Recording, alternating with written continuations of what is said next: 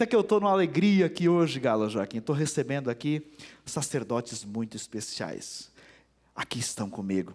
Os padres da minha amada congregação, missionários servos dos pobres. Estão aqui as relíquias do nosso fundador, Beato Giacomo Cosmano, Beato Francisco Spoto, está aqui a foto deles mas na verdade de uma congregação as relíquias vivas são sempre os co-irmãos. E hoje com muita, eu sempre estou aqui, gente, no Bom Dia, na TV Evangelizar, mas sempre em nome também da minha amada congregação, missionário servo dos pobres. Quero acolher com muita alegria o nosso vigário geral, está ali o Padre Hélio, meu primo por sinal. Bom dia, Padre Hélio, seja muito bem-vindo. Bom dia, Padre Francisco alegria de estarmos juntos. Sim. Conselheiro geral também, o padre Romain Tumba, que é da República Democrática do Congo e que mora em Roma e é o nosso conselheiro geral. Bom dia, padre. Bom dia, padre. padre Romain fa fala somente em italiano, mas a gente vai pescar alguma palavrinha dele por aqui. E aqui ao meu lado está esse homem que é um o verdadeiro papai paisão da minha vida, na minha formação, meu xará, Padre Francisco Panzeira, que foi também formador do nosso Dom Adenis. E vocês vieram participar justamente por esse momento. Os padres vieram, também o nosso superior geral esteve presente, participando da ordenação episcopal do Dom Adenis Roberto de Oliveira, o novo bispo é, auxiliar da Arquidiocese de Curitiba. Quero perguntar Quero primeiro dar bom dia e acolher com muita alegria. Sejam muito bem-vindos aqui na nossa cozinha do Bom Dia Evangelizar. Padre Hélio, alegria de termos agora um co-irmão que está, vai ser, nossa congregação sempre esteve servindo a igreja desde a fundação. Mas quando um co-irmão é, é, elevado à plenitude do sacerdócio, à função episcopal, é um serviço ainda muito mais intenso, colaborando como sucessor dos apóstolos é, numa diocese ou numa arquidiocese. Alegria desse momento especial para a gente, né, Padre Hélio? Bom dia. Realmente, Padre Francisco, é uma grande alegria, porque nós acompanhamos a caminhada é, do Padre Adenis e não imaginávamos realmente que depois de, de uma longa caminhada aqui no Brasil, lá na Itália, como membro do Conselho Geral, pudesse agora ser bispo auxiliar, né?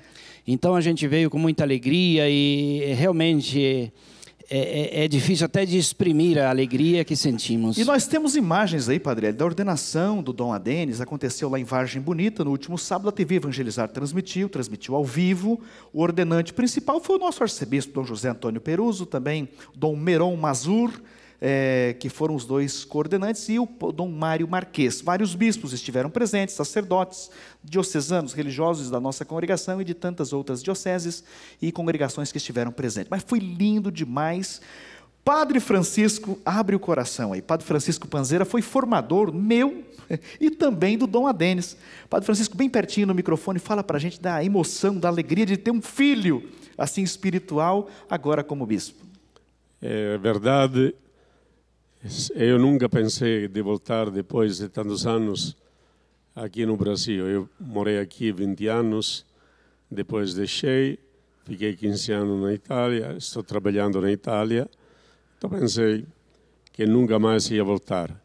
Mas por esta ocasião da ordenação do Dona Denis, eu fiz questão de estar presente, porque eu caminhei com ele desde menino, com eles, e outros, tantos outros então, fico feliz de estar aqui. É como um banho é, que a gente faz voltando às origens.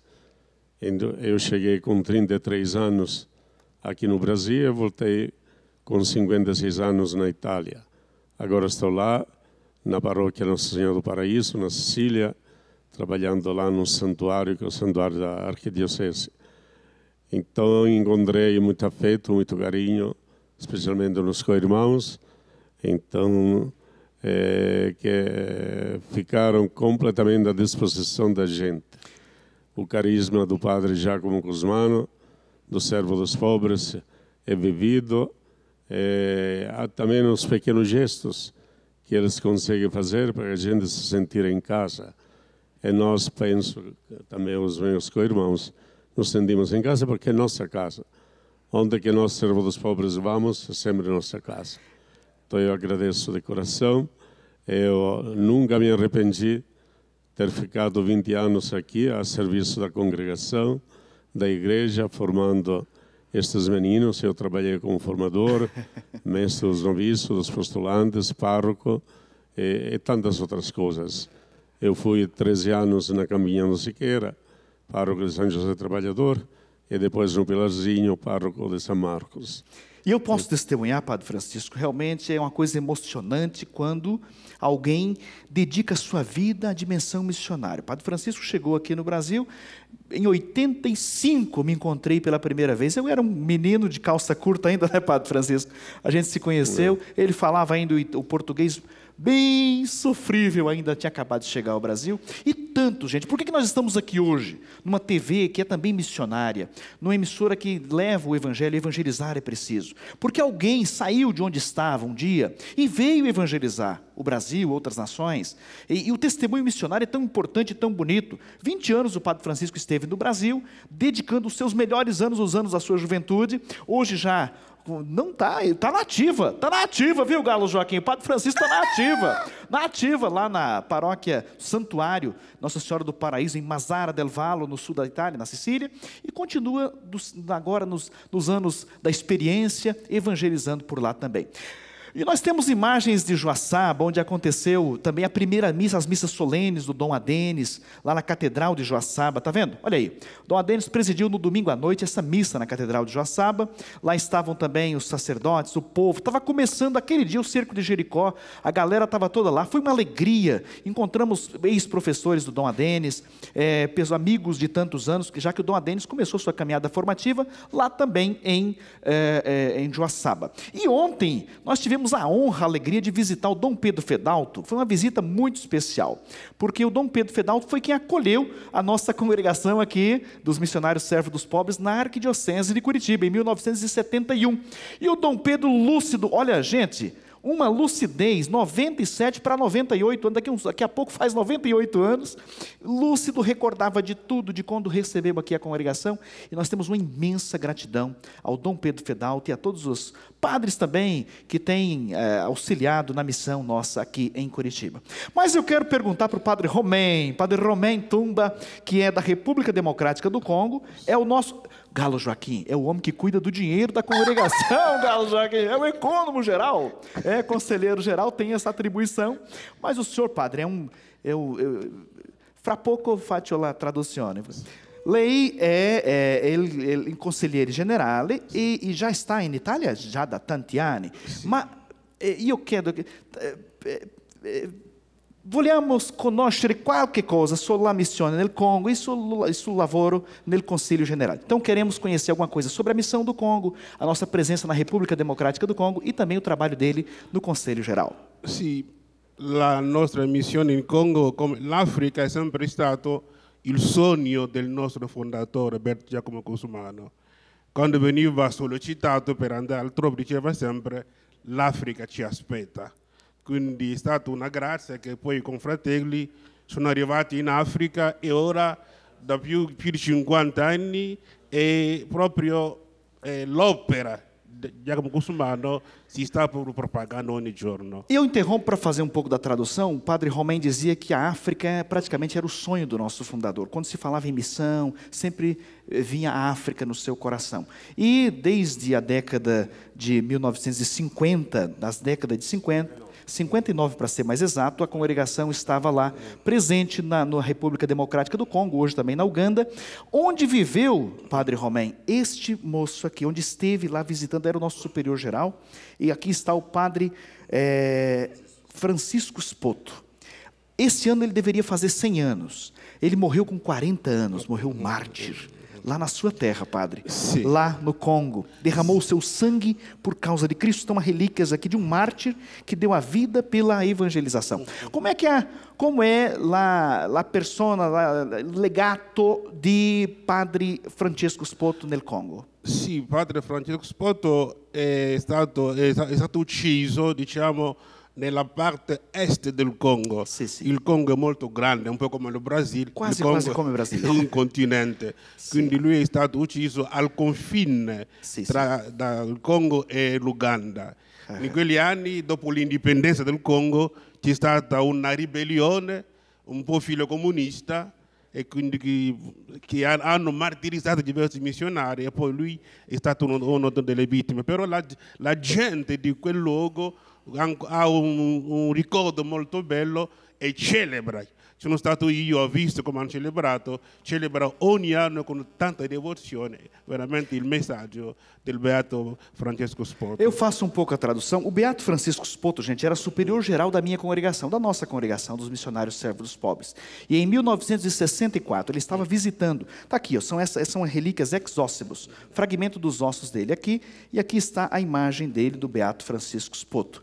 Ele foi martirizado, houve uma rebelião, o Congo acabava de conquistar sua independência, ainda eram momentos muito turbulentos de guerra, de guerrilhas, e ele foi assassinado por causa da fé. E o sangue dos mártires é semente de, novo, de novos cristãos e de novas vocações. Tanto que hoje, a província do Congo é talvez a mais numerosa da congregação. Sim, sim, sim. Quer dizer, os frutos de quem dá a vida por causa do Evangelho. É o que aconteceu com o Beato Francisco Spoto. Ah, gente, o nosso tempo é tão limitado. Padre Hélio, por favor, qualquer- o que, que você quiser falar. O Padre Hélio é meu primo, gente. O pai do Padre Hélio é irmão da minha mãe, somos primos. E o Padre Hélio mora, é conselheiro é, geral, é, vigário geral da congregação, mora em Roma. E eu quero a sua consideração final, Padre. O que você quiser dizer? Fique à vontade. Olha, antes de tudo eu quero agradecer por esse momento, por estarmos aqui junto contigo, com meus co-irmãos, participando desses momentos belos, né, que a gente veio aí para a ordenação do, do Monsenhor Adenis. Mas eu quero, assim, dizer to- a todos os telespectadores que agradecer por esse momento que você faz aqui na TV Evangelizar. Você sempre fez tão bem, de uma maneira muito espontânea, com carisma. Obrigado, e eu creio Padre que todos os telespectadores acompanham de coração realmente esse momento. E eu, eu louvo a Deus por esse dom que Ele te deu e, e te digo, vai em frente. Obrigado. em frente, porque essa é a missão que, que a igreja precisa, né? Obrigado, meu primo, meu amigo desde sempre, meu co-irmão, Padre Hélio. E aqui está o meu, meu papá espirituale, Padre Francisco, a quem tenho grande veneração, inclusive, e muita gratidão, porque o fruto não cai longe da árvore, né, Padre? O seu trabalho, a sua missão de formador e de tantos formadores que dão a vida pela formação, hein, gente? Atenção. Aí repercute em sacerdotes que podem hoje evangelizar porque alguém passou e fez um trabalho árduo, delicado. Eu já trabalhei na formação há muitos anos, ainda trabalho. E eu sei como é árduo o trabalho da formação. Por favor, eu quero que o Senhor, em nome dos nossos co-irmãos, do Padre Hélio, do Padre Romém, dê uma bênção para o nosso povo, do- uma palavra final e uma bênção para todos nós. Tá bom. Eu conheci o Padre Francisco, como ele falou, desde pequeno, por uma ocasião que eu fui lá em Assis Chateaubriand, a terra dele, conheci ele, o irmão dele, o Padre Valdir, que morreu há quatro anos, Cinco anos. né? cinco anos. Um homem bom, um homem inteligente, um homem que com certeza tinha o Senhor muitos projetos para ele. O Deus levou para o céu porque era uma alma muito boa, um santo sacerdote. Então eu lembro com muito carinho dele. Lembro o primeiro encontro que a gente teve com eles lá em Assis Chateaubriand. Nunca teria pensado que depois um dia ia ser o formador deles. Então eu fico agradecido por esta este convite aqui. Eu louvo o Senhor por ter me trazido aqui nesta ocasião da ordenação do Monsenhor Adenes, ao Padre Francisco, que nunca mudou. O jeitinho dele é sempre o mesmo. Aberto, obrigado, contente, obrigado carinho, feliz. Então, Mas o senhor é suspeito, porque uma pessoa que me ama tanto, eu sei que me ama, vai dizer só coisa boa a meu respeito. Mas muito obrigado, Padre. Por favor, uma bênção para o nosso povo. Padre Hélio, Padre Romém, Padre Francisco. E eu também vou dar junto uma bênção especial para o nosso povo. Esta bênção vai também por meio do Padre Francisco Spoto, que este ano, como falou o Padre Francisco, faz 100 anos do nascimento. 1924, este ano faz 100 anos e 40 anos da sua, do seu martírio. Então, este padre que eu conheci, que eu era criança, ele servia a missa, imagine, quando, porque somos da mesma cidade. Mesmo Então eu era coroinha, servia a missa a ele. Então, em nome do Padre Giacomo Guzmano, Beato Giacomo Guzmano e o Padre Francisco Spoto, nós vamos dar esta bênção, em nome do Pai, E e do do Filho, e e do do Espírito Espírito Santo. Amém. Muitíssimo obrigado, Padre Francisco, Padre, Padre Francisco Panzeira, Padre Hélio Meira Augusto, Padre Romain Tumba, por essa visita que encheu o meu coração, espero que tenha enchido o coração do nosso povo também de muita alegria.